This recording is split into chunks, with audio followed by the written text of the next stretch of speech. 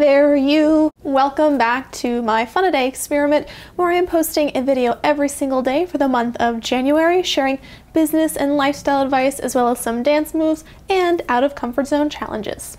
My name is Kristin LaJeunesse and you are watching Will Travel for Vegan Food Marketing Edition. We'll travel for, we'll travel for vegan few weeks ago, Laura, you wrote that my biggest challenge is staying focused, motivated, and positive when left to my own devices. Laura, that is a mighty fine question, mostly because I think everyone experiences that as well, and I am happy to provide some resources to help you out. The timing of this question is quite perfect too, because I just stumbled upon a really great article on fizzle.co that addresses a very similar issue, and so I pulled some resources from that post to share them with you today. One of the biggest roadblocks to staying focused and motivated is overbooking our days and weeks.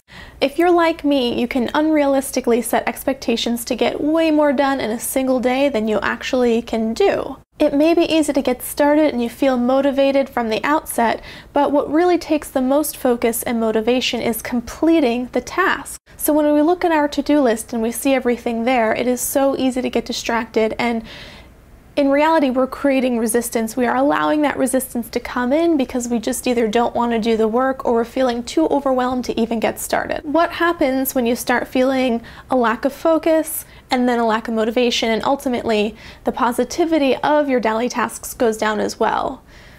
Well, it turns out that one feeds on the other. As soon as we get through our day or even a few tasks, and if we've skipped a couple or we don't complete all of them on our schedule, we feel like crap. Because let's be honest, when you're not crossing off all of those things, we have to move them to another day or later in the month, and it feels so heavy to not get everything done. Author Brian Tracy says, you should be doing your most important tasks for the day first thing in the morning.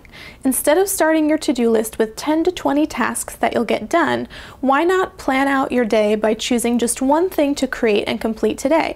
Then, after you've finished it, sit down and make the huge list of tasks for the rest of the day. Now, if you're more of a night person or you do better work early in the morning or in midday, that's totally cool. Use that block of time to schedule the most important task that you have saying, wait a second, Kristin, every task that I have every day needs to get done and is equally important. It's okay, I get it. I feel your pain. But of those tasks, break them down and take a look. Which one of those are most going to immediately benefit either your business or the business that you're working for? If you're an entrepreneur, ask yourself, which of these tasks is the most important to build my audience, grow brand recognition, and close those sales? Now, how can you make sure that you actually get these tasks done? For starters, I recommend checking out the video that I posted last week on time management. I think you'll find a few useful tips in there. But if that's not your style, I've got a couple of other resources for you from that fizzle.co article. Number one, treat this as sacred time. Hand your phone off to someone else, shut off the internet, get off your computer, put any other distractions aside and work on that one task. Now, if you're like me and you work on your computer too, there are some tools out there to actually disable certain pages like Facebook, Twitter, and Instagram. Number two, create just one of those tasks at a time. If possible, break it down each day, one big task per day. This will enable you to stay uber focused and fully concentrated in that one task. And let's be real, part of the reason that we all struggle with staying motivated and positive is because we have so many things on our plate and it's easy to get distracted. So if we shut everything out and focus on that one task and put all of our creative energy into that one thing, chances are much higher that you're going to have no problem getting it done. After doing this a few times, you'll get into the rhythm and you'll have a much better idea of how much time you should block off, say two hours a day or maybe five hours, and then you can schedule all of your other tasks around that. Well, Laura, thank you so much for asking that question. I hope that this video helped.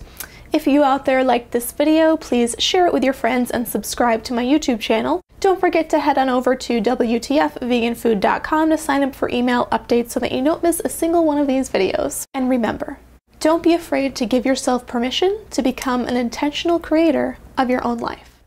Thanks again for watching, and I will see you tomorrow where it once again will be the Will Travel for Vegan Food marketing series. Over and out! I just almost knocked my computer off the desk doing that. It's my sweet ritual t-shirt. from Sweet Ritual. It's a vegan ice cream shop in Austin, Texas. You should go check it out.